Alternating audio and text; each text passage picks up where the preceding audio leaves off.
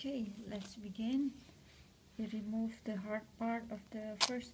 Remove the hard part of the leaf like that. And what what you have now is a a um, flexible uh, coconut leaf, young coconut leaf. First, with your right hand, wind the leaf like this. Okay. Remember that the uh, the tip of the leaf is on the inside um, of your palm of the palm of your hand and now you do the same thing with the other leaf but this time the tip of the leaf if on the inside part of your left hand of your left uh, of the uh, left side of the palm of your hand and pointing up. Remember this one is pointing down. Okay three times. One two three three loops remember crochet we talk we always mention loops so you also need to make loops in here. And remember the the tip of the leaf on pointing down inside and the other one pointing up on the left. Now you can play this slower motion if you like but I'm trying to do it very slowly for you.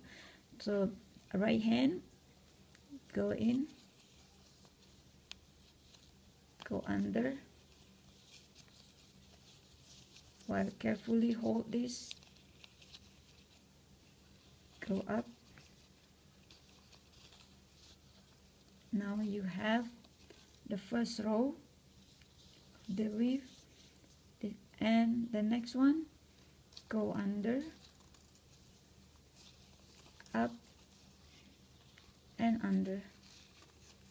You finish second row and remember to hold this uh, part so you won't the the uh, the previous loops won't get undone.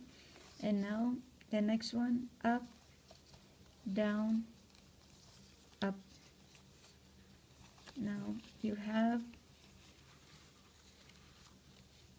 partially finished. Basket or pocket or ketupat. And now what you do? Pick up the lower one. Turn. Go under.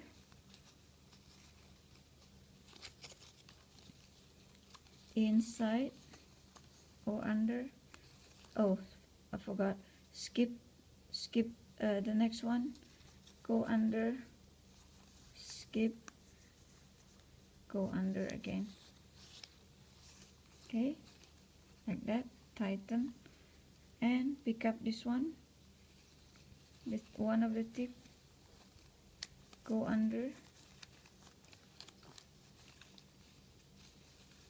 Tighten if necessary some so that the tip will not coming loose okay let's push this one in okay. And now turn again. Do the same thing with this end. Go up go under. Skip go under. Skip go under. Pull we almost finished. Tighten. And only one last step to do. Pull. Pick up this one. Go under. There you go. And now we have ketupat but this is not tight enough rice can uh, slip came off from the hole. So what we do we tighten our weaving uh, coconut leaf our woven coconut leaf leaf sorry my English terrible. There you go